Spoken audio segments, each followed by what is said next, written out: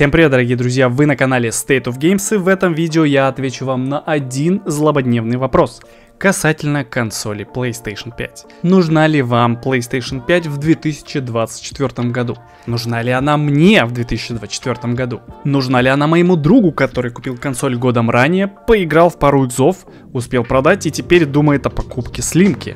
Это вопросы, на которые я постараюсь ответить. Ровно год назад мне подарили на день рождения PlayStation. И за это время Sony анонсировала и выпустила Slim версию, конечно же, а как иначе. Не могла она это сделать чуточку раньше, чтобы мне уже подарили Slim версию. Ну да ладно консоль есть консоль. Далее Microsoft завершила таки сделку с Activision Blizzard, и теперь Sony в истерике просто выпускает свои громкие релизы на ПК дальше, чем видит. Из-за этого эксклюзивов на самой PlayStation с каждым годом становится все меньше и меньше. К тому же не добавляет радости от покупки этого чудо-устройства конские цены на игры. Отсутствие каких-либо региональных цен, а самое главное исчезание эксклюзивов вообще как класса. Игрокам, которые проходят игры не в запой, имею в виду сюжетные прохождения, консоль будет служить верой и правдой долгие годы. Пока будут проходиться старые игры, выйдут новые, в том числе и эксклюзивные игры, но по-настоящему увлеченным игрокам, задротом, что греха таить, я про себя на самом деле и говорю, консоль может быстро надоесть как это, собственно, со мной произошло. Я, например, прошел второго Человека-паука за 4 вечера, затем играл 2 недели в сиквел Алана Уэйка, и то, потому что решил проходить игру не спеша, так бы я прошел его вообще за неделю. И как бы все, друзья, консоль у меня зачастую просто лежит на полке и пылится. Если у вас есть мощный ПК, как у меня, например, то все, консоль будет простаивать. В этом я убедился на своем опыте. Последнее время я играл в Аватара, Warhammer 40 тысяч, Rock Trader, Fallout 76 даже запускал, и все все, это на моем компе было сыграно. Про консоль я, соответственно, вообще забыл на какое-то время. Другое дело, если у вас этого самого ПК нет, тогда основной платформой для игр становится консоль. Или если вы стримите с консоли и обрабатываете стримы на ПК. Но это совсем другая история, там еще нужна будет приставка видеозахвата, это другая степень.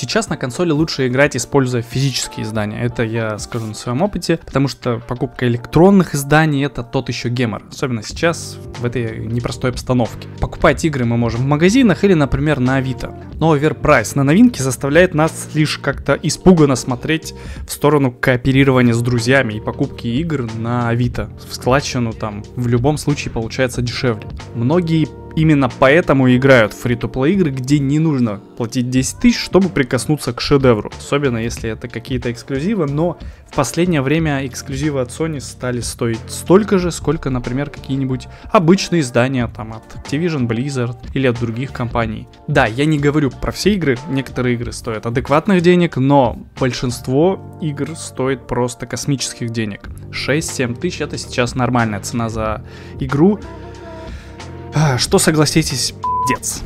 Что, согласитесь, сомнительно и не окей ни разу. И вот, чтобы запустить некоторые из таких игр, а, там, соревноваться с друзьями в мультиплеере или купить банально электронную версию, нам нужен будет иностранный аккаунт, который не так-то просто создать в последнее время. Пополнить кошелек в Play Store также нужно через какие-то сторонние сервисы и площадки, где в 100% случаев с вас будут драть какую-нибудь комиссию. В 5, 10, ну, 5 это, наверное, мало, 10 и более процентов. И захочется ли вам заниматься таким геморроем, это вопрос. Вопрос, на который я вам не отвечу. Я прошел прошел через все эти стадии. Я создавал аккаунты, я покупал на сторонних площадках валюту, чтобы мне закидывали на мой турецкий аккаунт. В общем, это все нифига не просто. И если вы новичок и не понимаете, как это делать, вам предстоит пройти через многие стадии ада, скажем так, с этой консолью. Если ну, банально не будете покупать физические издания. Физические издания просто. Вставил диск, запустил и играешь. Даже обновление по воздуху приходит, Sony эту как бы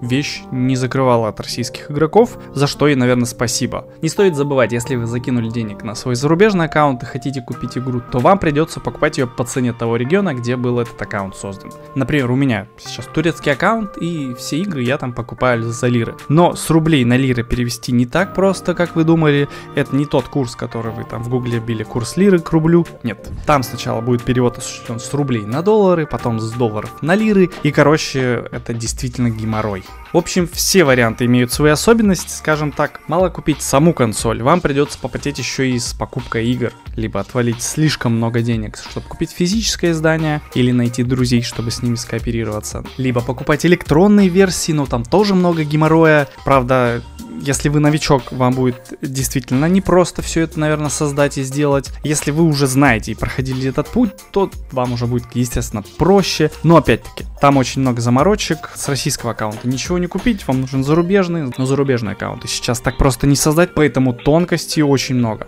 И еще один момент, который я хотел бы упомянуть. Если вы хотели брать PlayStation 5 без дисковода, то забудьте просто эту идею, не надо себя ограничивать. Подумайте еще раз, возьмите лучше PlayStation с дисководом, чтобы себя не ограничивать вот этими рамками электронных изданий. Потому что вам будет намного проще просто вставить диск и играть в игру.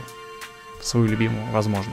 Если же говорить про саму консоль и ее внешний вид, то она безумно красивая. По дизайну она очень футуристичная. К тому же имеет сменные панели, которые можно заказать на любом Озоне или Wildberries. К сожалению, фатка очень огромная. И как раз этот недостаток призвана устранить Slim-версия, которая к моменту записи этого ролика успела подешеветь. Я видел цену в 58 тысяч рублей, но уверен, что она еще подешевеет на тысяч пять уж точно. Из приятных фишек консоли стриминг в 4К, запись на протяжении последнего часа. Это, кстати, очень удобная функция, особенно если вы делаете какие-нибудь ролики, связанные с играми, какие-то моменты запечатлеваете, либо просто стримите. Также не мог не упомянуть про быстрое пробуждение, возврат в игру, когда вы со спящего режима буквально за какие-то секунды можете опять вернуться в игру и продолжать с того места, где вы закончили. Еще такой небольшой особенностью этой консоли является то, что на некоторые ревизии стоимость выше, так как у них уменьшен шум. Обычно такие дела обстоят именно с новыми ревизиями. Просто обращайте на это внимание, потому что если вы берете консоль и у одной цена ниже, но продавец один и тот же, возможно это разные ревизии и какая-то из них будет более шумная, какая-то менее.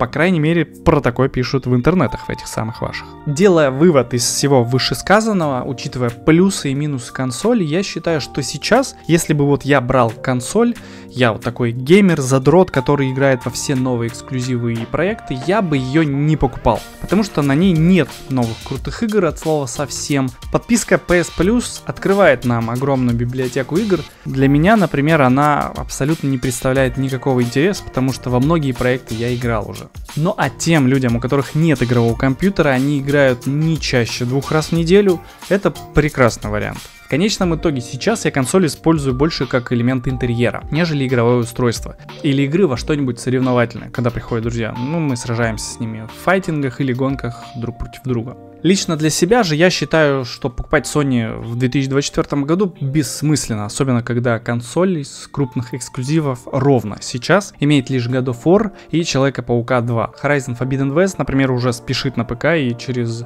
полтора месяца уже лишится эксклюзивности. Ну а Призрак Цусима был еще и на PS4. Не в Bloodborne же сейчас играть на PlayStation 5. Только и остается мне, что чистить ее от пыли. Хотя я сейчас э, играю как раз в God of War Ragnarok, может быть, э, на недельку-другую меня консоль займет. Посмотрим, что нам Sony представит в этом году. Пока все тухленько и того не стоит. Лично, на мой взгляд. Если есть деньги и вы готовы тратить на игры по 5-6 тысяч, берите. PlayStation 5, мне кажется, еще будет актуально лет 5 точно. Если вы хотите стримить игры с консоли, тоже берите. Но если вы хотите играть в эксклюзивы от Sony, то тут их, к сожалению, с каждым годом становится все меньше и меньше. И когда пополнение этих эксклюзивов, непонятно, Sony такое ощущение, что пока не поймет, куда ей двигаться. Либо просто закидывать людей экзамен, либо выпускать все везде и сразу пока Microsoft старается просто распространиться везде и вся, и с их геймпасом я бы сказал, что у них это получается, потому что это достаточно интересный проект. Sony такая в каком-то промежуточном состоянии, не понимая, что им делать. Либо выпускать эксклюзивы только на PlayStation 5, либо выпускать все это и на ПК, но тогда нужно как-то и с Xbox конкурировать. В общем, будем следить за развитием событий в 2024 году. На этом же у меня, дорогие друзья, все. Такие мысли у меня по поводу этой божественной консоли. Божественный, конечно же, в кавычках. Обычная игровая консоль, хорошее решение, я считаю, но если эксклюзивов, то вы их здесь не найдете. уже. Если вам понравилось это видео, поставьте ему лайк, подпишитесь на канал, если вы новенький, ну и не забывайте про соцсети, они тоже есть в описании. С вами был Влад, всем хороших игр, друзья, всем пока. И как бы все, друзья, консоль у меня зачастую стоит и пылится на полке. Или лежит, в зависимости от ориентации ее. Не, не надо. В зависимости от ориентации не надо. Я думаю, вы будете это смотреть после записи, естественно. Если вы играли во все и вся просто с, с PlayStation 4, то на PlayStation 5 переходить ровным счетом вообще не стоит. Но если вы, конечно, не любитель там FIFA и колды какой-нибудь. Ну, колда еще как бы 10 лет побудет на PlayStation. Там же у них контракт с Activision Blizzard. И вот потом это все в Xbox появится. Хотя в Game Pass, я думаю, это уже скоро появится. В этом 24 году 100% что-нибудь в Game Pass выйдет. Мне кажется, там выйдет даже Diablo 4. Вот просто я, я, я, я почему-то... Почему-то мне кажется, что там выйдет Diablo 4 и все, и Game Pass такой типа а у нас еще есть Diablo 4. Представьте, это типа минус сколько, 5к, наверное, да, людям. А если там еще и колда появится в этом году? Ой-ё. Ну, в этом году явно ждет Sony что-то такое, что какая- какая-то новость, про которая их просто, я не знаю, порвет, мне кажется.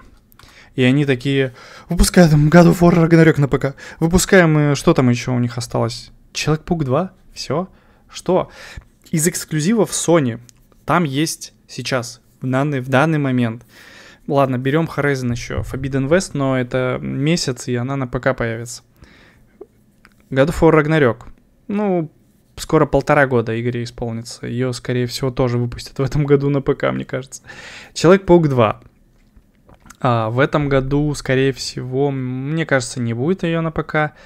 Вот, ее в 25-м выйдут. Но потом выйдет, ладно, окей, потом выйдет GTA 6. Но GTA 6 будет и на Xbox. То есть тут 50-50. Тут э, больше пользователей ПК таких сгрустнули. И все, что? Три игры? Ratchet Clank Rift Apart уже на ПК есть. Э, что там, Вольверин, где он, когда опять будет какой-нибудь это, каким-нибудь экшеном от третьего лица с сюжетом, который блин, эти активисты из Sony пишут. Ну такое, не знаю. Короче, если вы во все и вся играли, то PlayStation прям, ну, будет вот так стоять где-нибудь рядышком на фоне. Может, в следующем видосе поставлю ее вот туда. Такие дела. Увидимся.